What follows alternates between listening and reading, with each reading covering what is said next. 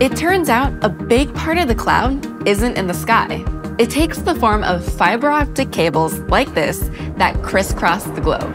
And Google has one of the most advanced global networks of fiber optic cables. Our subsea cables are carefully laid on the ocean floor.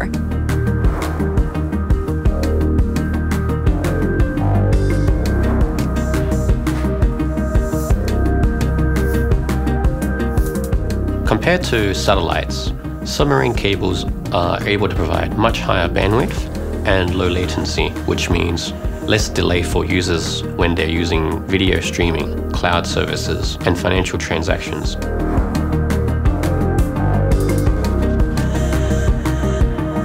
Connecting people and places is at the heart of what we do at Google. We don't just want to organize the world's information, but we need to make it universally accessible, which means we need to connect everyone on the planet.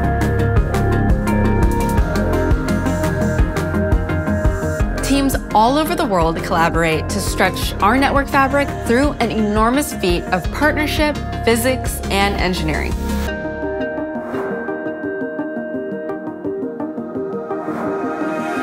Google's network operates like a mesh.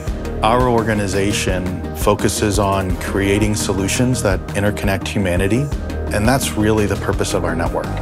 Our highest priority is to create a network that society can depend on.